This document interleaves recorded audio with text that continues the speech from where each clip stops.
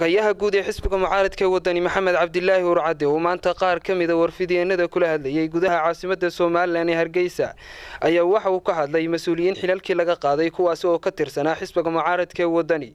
waa kan isagoo taxaya magacyada iyo xilalka ay ka hayeen xisbiga mucaaradka ee wadani horeyn waxaan jecelnahay inaanu warbaahinta u sheegno in saaka ay isku yimaadeen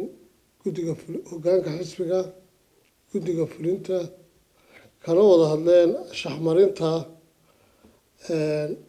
ashkhaas ka tirsanaa xisbiga wadani xililo u hayay arrintaasi oo go'aanu ka soo saaray xisbigu. Wuxuu xisbigu go'aamiyey markuu eegay shaxmarintii iyo howlihii xisbiga iyo xeerarkiisii uu eegay in cabdirasaaq iid maxamed oo ah guddoomiye ku-xigeenka gobolka maroodijeex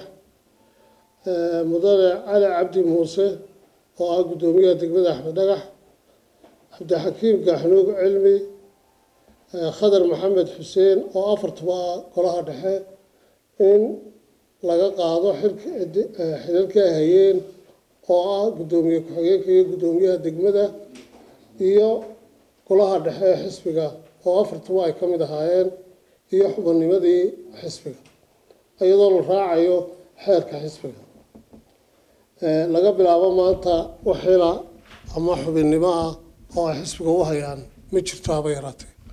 Waxaa sidoo kale uu xoghayuhu ka hadlay doontii lagu diqeeyey xeebaha yemen taasi oo ay saarnaayeen dad badan u dhashay somalilan waxaana uu ka dareen celiyey inay xisbi ahaan aada uga xun yihiin waxaana hadalladiisii ka mid ahaa. Xisbiga waddani wuxuu muddo dheer ka hadlayey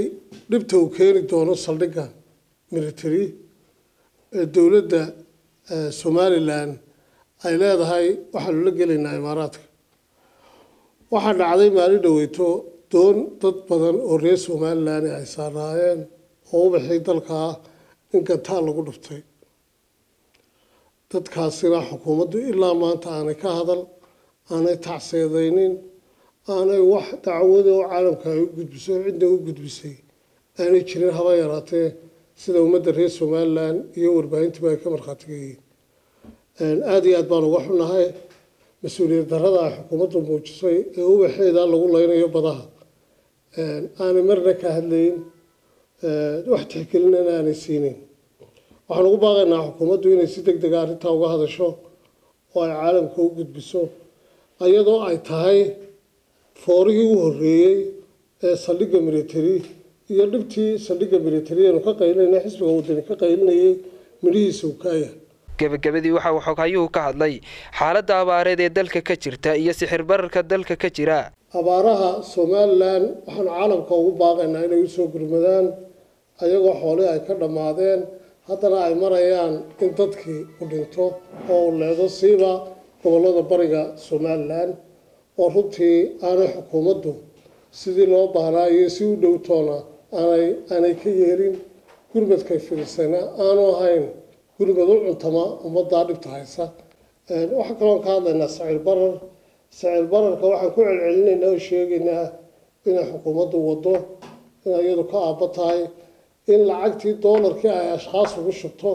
lagu dejin lahaa sacir bararka. Oo aanay bankigii somalilan loo sameeyey aanay marin cabdiraxiin axmed mahdi telefishinka caalamiga ee kalson t v magaalada hargeysa